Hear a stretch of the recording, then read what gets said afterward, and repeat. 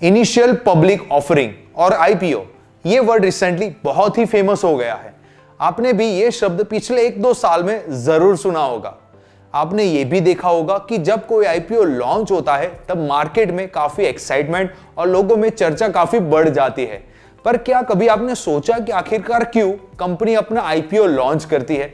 I am Smith Thakkar and this is Espresso Bootcamp here you will learn the skills that will help you navigate your stock market journey.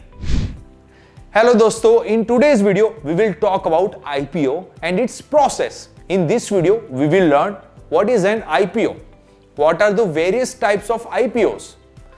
IPO के बारे में सब जानने के लिए इस video को एंड तक ज़रूर देखिएगा देखने से पहले हम जानेंगे कि IPO आखिरकार होता क्या है बाय लॉन्चिंग एन IPO एक अनलिस्टेड कंपनी स्टॉक मार्केट में अपना डेब्यू करती है by offering its shares to the public IPO financial market का एक हिस्सा है। ये सब तो ठीक है, पर अब आप सोच रहे होंगे कि एक कंपनी को आईपीओ लॉन्च करने की आखिरकार ज़रूरत क्यों होती है?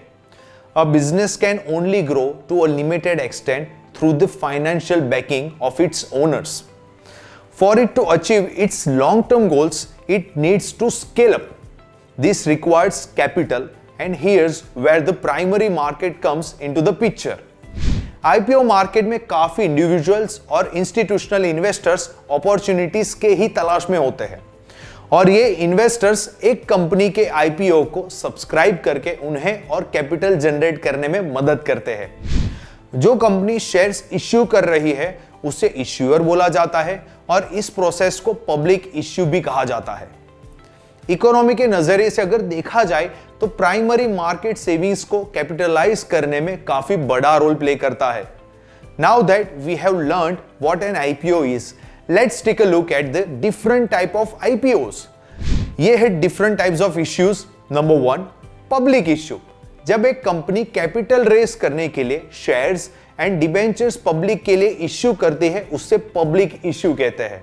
पब्लिक इश्यू दो तरह के होते हैं। पहला है आईपीओ और दूसरा है एफपीओ यानी कि follow on public offer number two offer for sale ये तब यूज़ किया जाता है जब एक वेंचर कैपिटलिस्ट जो किसी कंपनी में अर्ली स्टेजेस में इन्वेस्ट करते हैं, अब उस कंपनी के ग्रोथ के बाद उनसे एग्जिट करना चाहते हो।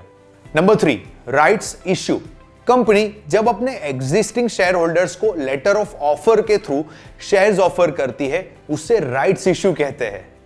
Companies normally use this route to reduce debt number four ADR and GDR ADR यानी अमेरिकन डिपोजिटरी रिसिप्ट और जीडीआर यानी ग्लोबल डिपोजिटरी रिसिप्ट ये ऐसे इंस्ट्रूमेंट्स है जिसके through Indian companies international market से भी अपना कैपिटल फॉर्म कर सकती है। तो दोस्तों, उम्मीद करता हूँ आपको ये वीडियो पसंद आया होगा। आज के वीडियो के लिए बस इतना ही। Tell us what you think of this video in the comment section below like share and subscribe so मिलते हैं ऐसे ही इंटरेस्टिंग वीडियो में।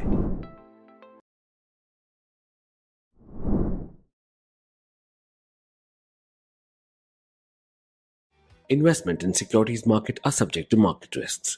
Read all the related documents carefully before investing.